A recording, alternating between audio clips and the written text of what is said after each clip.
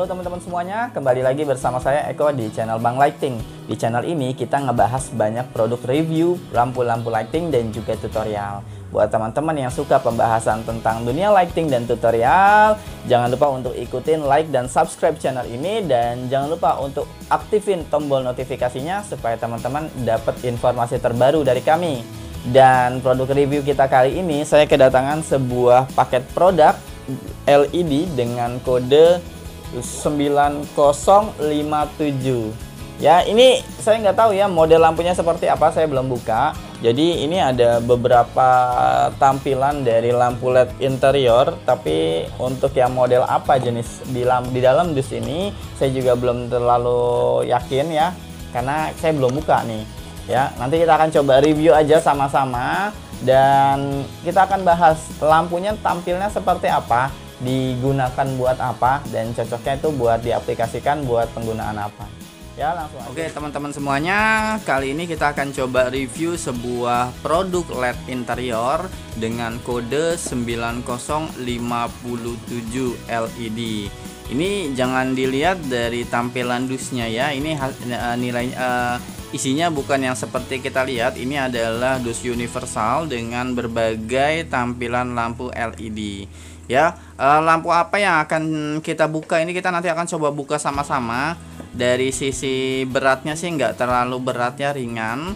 Ini kodenya 9057 ya penggunaan lampu LED interior dinding.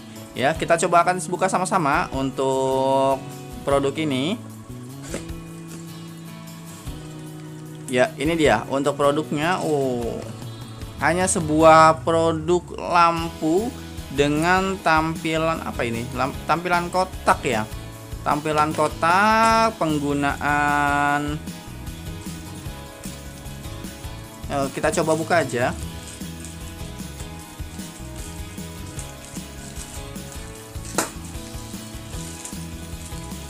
Uh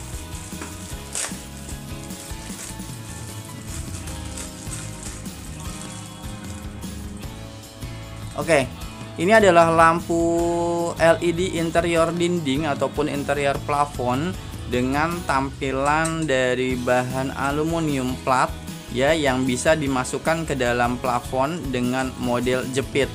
Jadi kalau teman-teman lihat di sini ada tampilan bracket kuping ya. Ini ketika eh, teman-teman gunakan pada plafon ataupun dinding yang berlubang, ini kita bisa masukkan dia akan menjepit ke bagian plafon tersebut jadi ini model inbo harus ada lubang untuk teman-teman masukkan mungkin cocoknya itu untuk dinding-dinding yang memiliki uh, interiornya itu model-model kayu ataupun ya cocoknya dipasang di bagian plafon atas untuk kelistrikannya ini sudah menggunakan listrik AC 220 volt.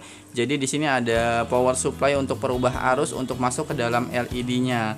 Kalau kita lihat dari kabelnya ini ada empat buah kabel. Jadi kemungkinan untuk lampunya ini model lampu RGB. Yuk teman-teman lihat di sini, di sini ada sebuah satu buah lampu, hanya satu buah lampu yang ditempelkan di bagian atas dari bodinya ya ini kemungkinan lampu RGB kemudian untuk tampilannya di sini ada sebuah lubang dengan motif mungkin nanti akan menghasilkan uh, tampilan dari cahaya lednya. Kalau dari sisi bodinya ini ringan banget ya. Dan juga menurut saya simpel banget ini hanya sebuah kotak kemudian dengan lubang kisi di samping dan satu buah lampu yang nanti akan memberikan efek dari lampu tersebut.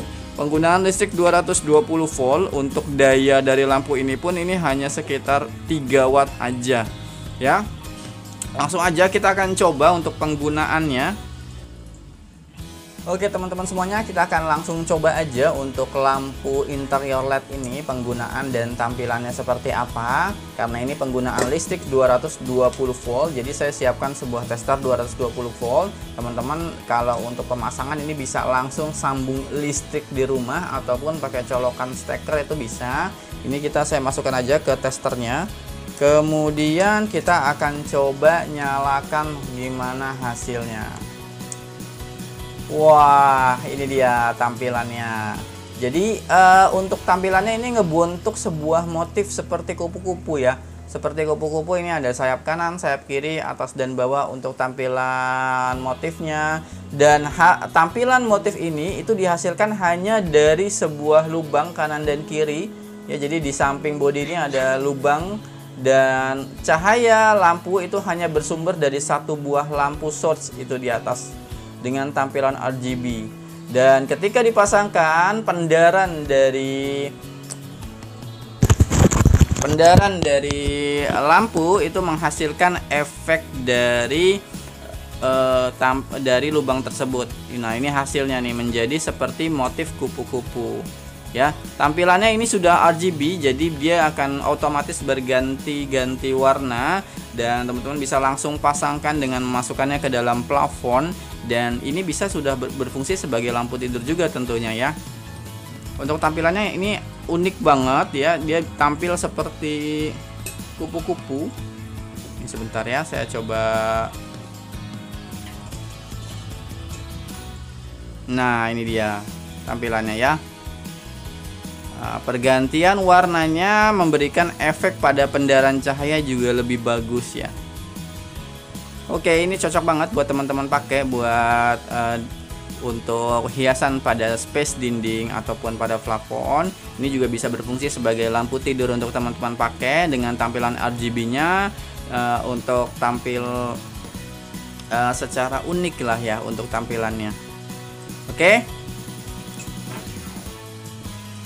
Produk ini berjaminan garansi satu tahun, jadi kalau teman-teman uh, khawatir dengan bagaimana lampu ini awet apa enggak, produk ini digaransi satu tahun full spare part, ya asal nggak kena air.